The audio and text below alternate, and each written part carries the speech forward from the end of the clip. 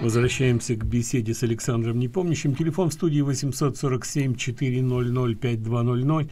И давайте, наверное, примем звонок, а потом и продолжим. Добрый день, пожалуйста, в эфире. Здравствуйте. А, уважаемый Александр, у меня такой вопрос. А можно ли создать коалицию без э, партии Либермана? Это, как сказать, не праздный вопрос. Дело в том, что недавно я слушала выступление одного э, израильского русскоговорящего политолога, чувствовалось, что он как бы поддерживает Либермана. И у него спросили, какие у него прогнозы на развитие Израиля и политики на будущее. И вот он говорит, э, ну, сказал, что э, он думает, что это э, правительство, которое сейчас избирается, продержится года два, и что это последние выборы Натаньяху. Я так очень долго думала, ну почему человек такое говорит? И мне так ну, показалось, что, видно, Либерман планирует года через два э, э, выдвинуть какое-то не, э, невыполнимое требование, ну, типа как он выдвигал в этот раз, и за счет этого э, выйти из правительства и опять его развалить. Вот поэтому можно ли без него э, создать коалицию? Еще один вопрос. Можно ли назначить Шакет, несмотря на то, что она как бы не вошла в Кнессет? Спасибо большое. Окей. Okay. Э, по поводу первого вопроса. Э, на сегодняшний момент э, без партии Либермана, получившей 5 мандатов, у правительства не будет большинства. Будет ровно 60 на 60. То есть сегодня у Натаньяу как бы нет возможности не взять Либермана. С другой стороны, Либерман ударился в очень как бы такую жесткую антиклерикальную, антиклерикальный пафос и он стал э, едва ли не главным борцом с религиозной еврейской традицией, и он сейчас выступает очень активно против э, религиозных евреев, вся его кампания была построена на этом.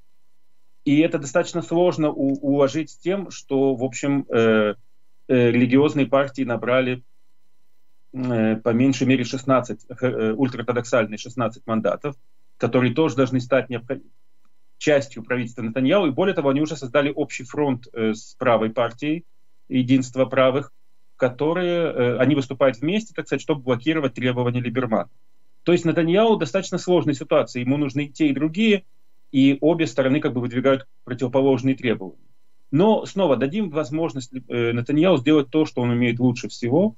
Если вы спрашиваете меня, может ли быть создано правительство без Либермана, теоретически может, в случае, если Натаньяу сумеет вытащить какое-то количество э, левых из, э, так сказать, раз, разбить левые партии, расколоть их и взять себе для веса, ему нужно буквально один-два два голоса только, один-два парламентария взять себе, чтобы уже у него было правительство. Теперь это, конечно, очень ненадежно, потому что э, с левыми договариваться так же как бы опасно, как и с Либерманом. Оппортунисты, которые могут завтра все, все перевернуть. С другой стороны, э, левые партии сегодня, настоящие левые, то есть традиционные левые партии, скажем, та же партия труда, она настолько ослабла, она, по сути дела, она 6 мандатов, почти такая же, как партия Либермана, маленькая. И э, возможно, что Натанья удастся какую-то сделать, так сказать, комбинацию, при которой они будут заниматься чем-нибудь таким социальным, каким-нибудь социальным вопросом, что, конечно, неприятно, что вообще левые, так сказать, куда-то влезают в правительстве, но может оказаться, что они будут более надежным партнером в коалиции, чем Либерман. Но снова, наши с вами спекуляции сейчас ровным счетом пока ничего не стоят, поскольку э, Натаньяу лучше знает, как ему сложить коалицию, как ему этот пазл сложить. И просто посмотрим, как он это сделает, и потом уже по факту разберемся. Теоретически у него много сейчас вариантов, много возможностей, которые основаны на том, что он может расколоть э, левый лагерь, крайне рыхлый, несобранный, состоящий из слабых партий, желающих хоть как-то зацепиться, закрепиться где-то, чтобы уцелеть, и вот этого списка бело-голубых, который состоит из трех партий, как, как лебедь, рак и щука, не связанных между собой ничем.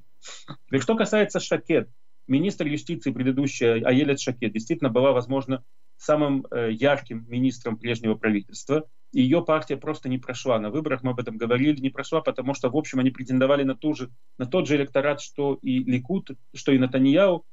И у них была своя маленькая ниша, они были как бы как Ликут, только немножко правее. Но когда в последние дни, буквально последние часы выборов, Натаньяу сказал, голосуйте только за меня, потому что иначе у левых будет большинство, и так оно действительно бы стало, то народ поверил, опять же, народ поверил Натаньяу и пошел голосовать за него. И у э, Аеля Шакет не прошла. Теперь Натаньяу мог бы, наверное, э, включить ее в правительство, но у него и так будет достаточно сложный расклад. То есть нужно усадить все партии, всем партиям в коалиции нужно что-то дать.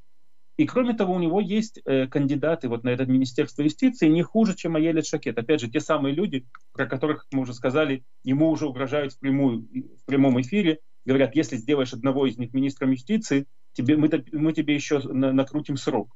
То есть сейчас, как бы с его точки зрения, даже наоборот, в пику им поставить одного из этих людей, одного из этих политиков министром юстиции. И, судя по всему, они будут не хуже, чем Аелет Шакет. Но снова поживем, увидим, дадим возможность Данияу раз, раз, разгрести эту кучу, и там будет видно.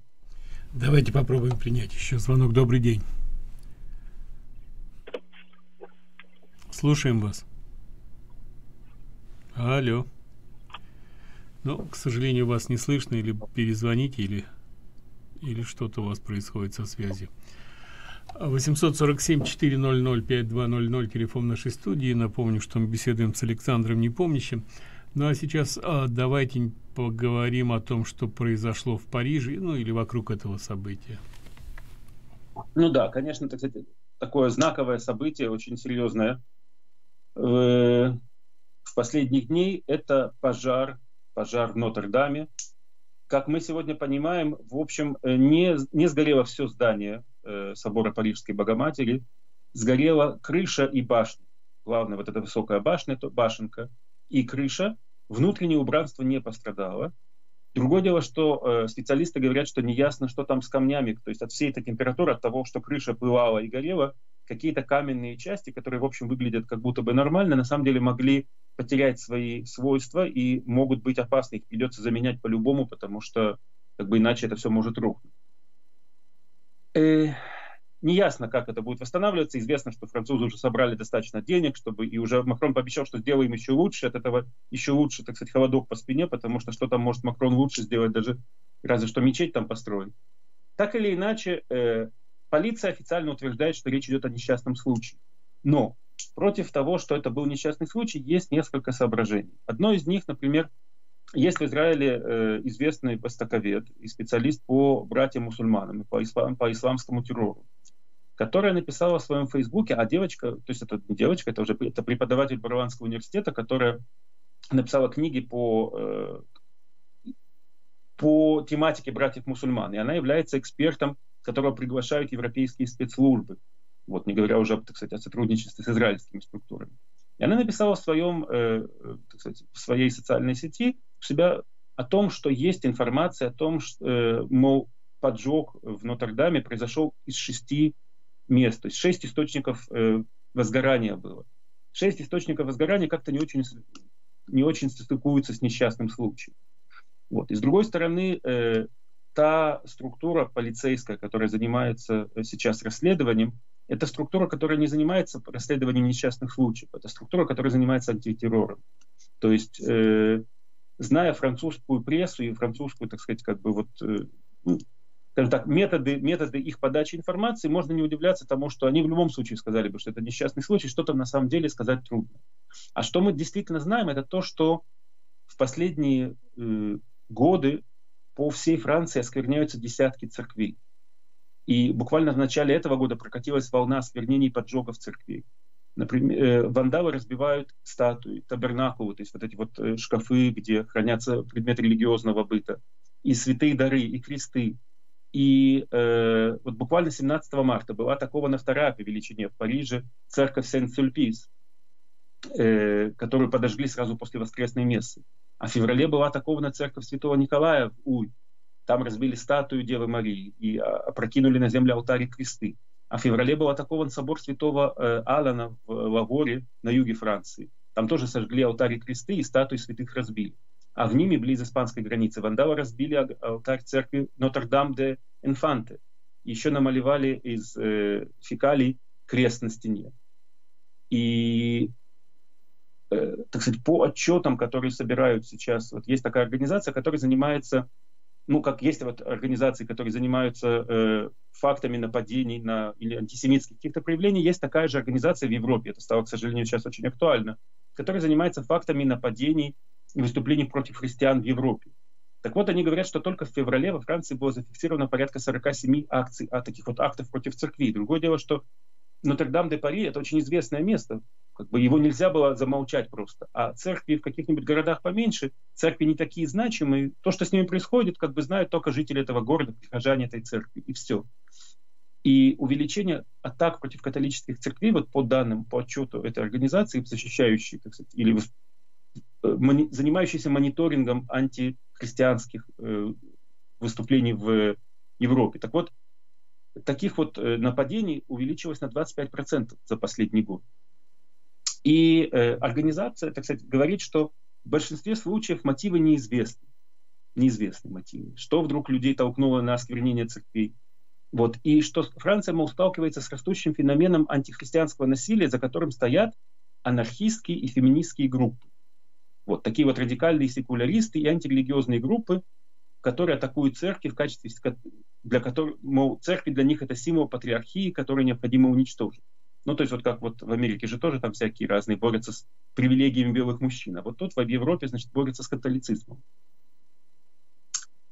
Как-то вот э, у меня возникает ощущение, что когда мне говорят про анархистов и феминистов, что это некая политкорректная, э, политкорректный эфемизм, и на самом деле за этими группами стоят э, лица тех самых мусульман, которые были жутко довольны. Фотографии зафиксировали, когда горящий Нотр-Дам и э, испуганные э, так сказать, лица парижан, которые смотрят на этот кошмар, и радостные лица мусульман парижских, которые так сказать, совсем даже не переживают по этому поводу. И другое дело, что политкорректность, навязанная Европе, она мешает назвать вещи своими именами и назвать истинных борцов с этими самыми церквями. То есть будет говорить об анархистах, о феминистах, что которые, возможно, тоже в этом участвуют. Но на самом деле за этим все-таки, как мне кажется, опять же, стоит э, рука братьев-мусульман, которые, возможно, используют этих самых э, разрушителей Европы, анархистов и феминисток. И это все как часть общего завоевания Европы. Вот. Э, и борьбы с их символами. Точно так же, как мы помним, были разрушены символ Нью-Йорка, американские башни. И тоже до сих пор нам объясняют, что это были вовсе не мусульмане, это были, например, даже Масад или кто-нибудь еще. Александр, давайте, давайте попробуем принять звонок, э, потом вернемся, если что. Пожалуйста, вы в эфире. Добрый день, господа. Э, с э, большим праздником Песах вас поздравляю. Всей души. Вопрос такой, вы знаете, насчет сформирования вашего нового правительства. Объясните мне, и я думаю, что многих это интересует, Моша Фейгин, он, чем он не устраивает Нетаньяху, в принципе, практически никогда, и чем Нетаньяху не устраивает его. Он из, из правого лагеря, довольно-таки правый человек. Это, конечно, не калибр премьер-министра, но э, почему от него все время так, э, никогда его никуда не берут, и, или это обоюдное? Можете вы объяснить, пожалуйста? Я с удовольствием вас послушаю. Спасибо. Окей. Okay. Вы знаете, я э, отношусь к Фейглину с большим уважением. Я считаю его э, важным политиком израильским. И мне кажется что важным, чтобы он был в израильской политике. Мы об этом говорили на протяжении всей предвыборной кампании.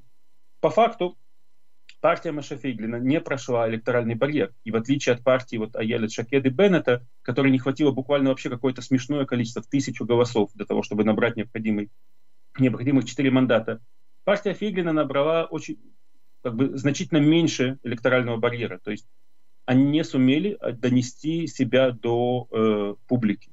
Хотя, казалось, по всем вопросам они их показывали буквально 6-7 мандатов, то есть она, это партия, которая легко проходила электоральный барьер. Тем не менее, в итоге, когда э, Натаньяу сказал, голосуйте за Ликуд, иначе все пропало, народ оставил и партию Ель Шакеды Беннета, и партию Фейглина. И если э, по ходу предвыборной кампании казалось, что, в общем, Фейглин со, своей, со своим как бы либертарианством э, увлекает за собой не только правый электорат, но и, э, скажем так, электорат слева, который не, недостаточно лев. То есть это люди, которые за свободы всевозможные, за гражданское общество, за, свободное, за отделение религии от государства, но при этом против, так сказать, уступок арабам. Э, и поэтому они как бы предпочли голосовать бы за Фейглина, а не за левой партии. Так вот, оказалось, что все-таки нет, не нашлось достаточного количества людей. То есть сегодня этот политик, главная проблема Фейглина – И мне кажется, что это главное, так сказать, то, что мешает его сотрудничеству с Натаньяу. Это то, что он, он, видимо, очень неплохой идеолог. Он видит ситуацию, он видит проблему, он не умеет э, притворять свои политическое, свое политическое видение в, в дело. Он не может создать рабочий механизм, который действительно пройдет вот этот вот э, отбор жесткий, преодолеет электоральный барьер и станет партией в Кнессете. Пока что Фейглину это не удалось. И Натаньяу, который делает реальную политику, ему, конечно, нужны соратники, которые смогут делать реальную политику. А идеологов у нас в Израиле хватает. Вот, наверное, в этом главная проблема Фейглина. Перестать быть не только идеологом, но еще стать еще и э, политиком, способным притворять свою, свое видение в жизнь. Спасибо. Ну а теперь о том, что происходит в Сирии, если можно. Да, в Сирии происходит э, достаточно интересная ситуация. В общем, как бы не столько даже в Сирии, сколько для, для нас это на нашей северной границе. Вот. И там все более четко проступает э, совершенно новая ситуация, о которой мы на самом деле, в общем, говорили э, уже давно, но сейчас она становится все более и более очевидной. Начнем с того, что вот буквально задолго до выборов э, Россия передала Израилю тело погибшего солдата, погибшего еще во время Ливанской войны 37 лет назад – россияне вытащили, э, нашли его останки и передали израильтянам, что для израильтян на самом деле, конечно, очень важный шаг, формирующий такое дружественное отношение к России, к ее лидерам. И на той же волне израильские СМИ сразу стали уже, так сказать, э, мечтать, вспомнили тут же и о израильском разведчике э, середины 60-х годов Эли Коине, который был обнаружен, кстати, обнаружен советскими спецслужбами и казнен в Сирии и э, там, там же захоронен. Израиль долго добивался его возвращения его тела на родину, и пока не добился, и тут же сразу израильские СМИ стали говорить, ну, мол, одного вернули солдата, наверное, скоро или, или Койна вернут, вроде уже так сказать, пошли слухи, что его там уже россияне достали и забрали себе. Россия все это опровергла, и израильский МИД, израильский МИД, израильское правительство тоже опровергли. То есть пока что, если такие контакты идут, то не все сразу и не так быстро. Все-таки это очень аккуратные вещи, очень деликатные вещи и э, так быстро все не происходит. Но есть вещи, происходящие сегодня в Сирии, которые для Израиля важны даже больше, э, чем возвращение солдат, чем эти дружественные жесты со стороны России. И это то, что Россия осуществляет масштабное усилие по предотвращению установления иранского контроля над Сирией. То есть мы говорили об этом, что там и здесь происходит столкновение сирийских, как бы пророссийских войск с сирийскими проиранскими войсками. Теперь мы видим, что это не это системно это реальная политика России, которая стала выдавливать Иран сразу на двух, как бы по двум направлениям. То есть что происходит? На протяжении последнего года э, Россия осуществляет масштабные э, изменения. Российские силы и союзные им милиции производят массовые аресты сирийских военных, лояльных Ирану, которых сажают в тюрьмы э, асадовские под э, предлогами того, что они коррумпированы. Они, конечно, безусловно, все коррумпированы, то есть их есть за что сажать но это происходит как часть общей политики замены офицеров проиранских на офицеров пророссийских. Э, высокопоставленный сирийский офицер, э, пишет издание «Постскриптум» в чине бригадного генерала, дезертировал, рассказывает о том, что аресты в армии происходят на фоне борьбы между русскими и иранцами. И э, Сначала русские просто хотели создать как бы лояльные себе силы и прислали туда инструкторов российских, которые обучали сирийских призывников, чтобы они были лояльны только Асаду и никому другому, ну, читай Асаду и России. Но этот проект провалился, потому что все-таки нужно это очень все серьезно финансировать. У России таких возможностей финанс- финансовых нету. И тогда э, Россия учила свои ошибки и стали просто, так сказать, э, заменять людей, лояльных себе, продвигать и убирать людей, лояльных Ирану. Иран в ответ тоже пытается задерживать сирийских офицеров, так сказать, известных своей предвзятостью э, или, так сказать, преданностью России. Но у россиян больше возможностей на местах, больше как бы возможностей давления на Асада, и э, зачистка военных так сказать, структур сирийских в пользу России происходит гораздо более активно. Мы об этом говорили раньше. Ира- России иранцы в Сирии не нужны. И в этом смысле Израиль, так сказать, вполне себе союзник России, потому что, скажем так, если Сирия будет под патронажем России, то для Израиля это будет спокойнее. Все-таки Россия, у нее есть какая-то реальная политика, а не только общий вопль «давайте убьем всех израильтян, всех евреев». Вот. с Россией можно договориться. И э, Асад под контролем России для нас гораздо меньше угроза и опасность, тоже угроза, тоже опасность, но гораздо меньше, чем э, Асад под контролем Ирана. И это, конечно, очень тонкая игра, которая идет сейчас. И снова как бы договариваться об этом из израильских политиков, я думаю, может действительно только Натаньял. Только он способен вот так вот садиться с Путиным, приезжать в Москву и договариваться о таких деликатных вещах. С одной стороны, Россия делает то, что выгодно ей. Не, не будем, так сказать, э, льстить себе. Она делает, она выгоняет Иран не потому, что попросил ее об этом Израиль, а потому что Россия действительно хочет, если уже она вложила столько денег в Сирию, чтобы Асад подчинялся, так сказать, был слугой только одного господина, а не двух господ. Вот. С другой стороны, э, Израиль это устраивает. И там и здесь мы видим, как это проявляется. Например, буквально э, на следующий день после выборов Израиль нанес удар по заводу Хизбаллы, э, точнее, прошу прощения, по заводу иранскому в Сирии, который производит ракеты. И Россия вообще как бы не заметила этого. Правда, так сказать, тут еще просочились данные о том, что ракеты, которые использовал Израиль, это ракеты, способные обходить российской С-300. То есть, если бы Россия вмешалась бы, она только продемонстрировала как бы несостоятельность своей ПВО. Вот. Но они не вмешивались. И, возможно, это тоже часть вот такого общего понимания того, что Иран в Сирии больше не нужен. Вот. Ирану, конечно, это очень обидно, потому что он клал там своих солдат, он положил там своих э, союзников, он накачал туда кучу денег, а теперь его вот так совместными усилиями оттуда выжимают. Но э, реальная политика – это реальная политика, алягер ком алягер. Вот. И более того, происходит еще более интересная вещь в Ливане. Ливан, так сказать, последние э, десятилетия воспринимается просто как придаток Сирии, с одной стороны. С другой стороны, там правит Хизбалла, Хизбалла напрямую подчинена Ирану. И вот вдруг мы узнаем, что э, глава э, ливанского МИДа в Москве встречался с представителями израильских, э, израильских как бы, политиками или израильскими военными, которые объясняли, что вот у вас там в Ливане Хизбалла развернула э, ракетные заводы, нас эти заводы совершенно не устраивают, и, в общем, либо вы сами с ними разберетесь, либо разберемся мы. Вот понятно, что Ливан разобраться с Хизбаллой не может, потому что ливанское правительство, так сказать, зависимо от Хизбалла управляет. Вот. Но они получили четкое предупреждение, и все это проходит, опять же, под, под продажем России. То есть России Иран не нужен, Хизбалла тоже не нужна. И в этом ключе играет Израиль, потихонечку помогая России отжимать Иран из э, вот наш, нашего региона, что нам на руку, на руку России и, конечно, на руку, в общем, и Америке тоже. Александр, огромное спасибо. Еще раз с праздником вас и до следующей встречи.